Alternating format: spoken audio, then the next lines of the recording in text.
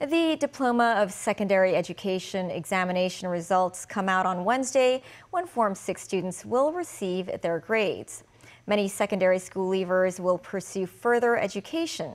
With a shortage of health professionals a serious concern, the hospital authority is offering a professional diploma in general nursing with 300 positions. Mimo Singai reports.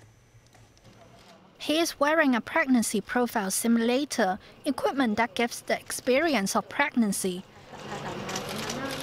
To experience the body condition of an elderly person, this set of tools can do the job. And this pair of protective goggles makes one's eyesight blurry, and this headset blocks one's hearing.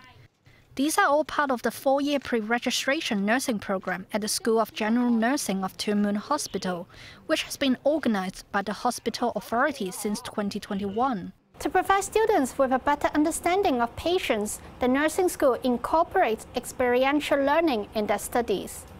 The program is currently only available at two other medical institutions, Caritas Medical Center and Queen Elizabeth Hospital.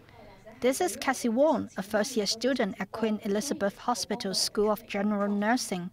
While Wong has always wanted to become a nurse, she did not enter the sector until recently. She worked in insurance previously. I think nurse is a meaningful job, uh, so don't hesitate, just go ahead.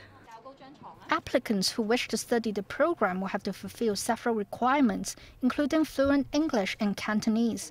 The principal of the nursing school in Tuen Mun said many students wanted to join the program in the past two years. Every year, there are around 3,000 or 4,000 I, I, anticipate 3,000 to 4,000, maybe sometimes it's 5,000 students apply for this, this program.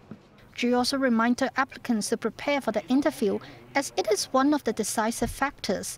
Memos 9, TVB News.